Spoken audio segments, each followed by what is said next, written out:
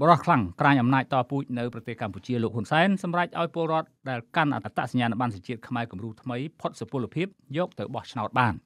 ខណៈលោកបានផាត់បាក់ភ្លើងទៀនមិនឲ្យចូលរួមបោះឆ្នោតនៅខែកក្កដាខាងមុខនេះការសម្រេចរបស់លោកហ៊ុនសែនធ្វើឡើងនៅក្នុងអនុក្រឹត្យស្ដីអំពីការបន្តសុពលភាពអត្តសញ្ញាណប័ណ្ណសញ្ជាតិខ្មែរគំរូថ្មី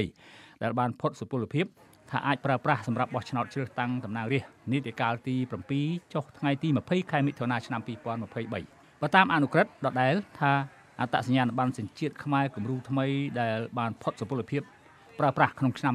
2022និងឆ្នាំ2023សម្រាប់ប្រើប្រាស់ក្នុងការបោះឆ្នោតជ្រើសតាំងតំណាងរាស្ត្រនីតិកាលទី7រហូតដល់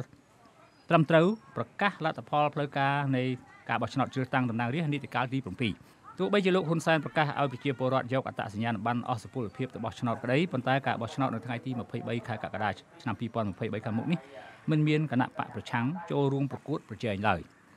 ការបោះឆ្នោតជ្រើសតាំងតំណាងរាស្ត្រខាងមុខនេះបណ្ដាញប្រទេសលោកសេរីក្នុងក្នុងនោះមានសហរដ្ឋអាមេរិកអូស្ត្រាលីនិងបារាំងជាដើមមិនបានបញ្ជូនអ្នកសង្កេតការទៅចូលរួមទេ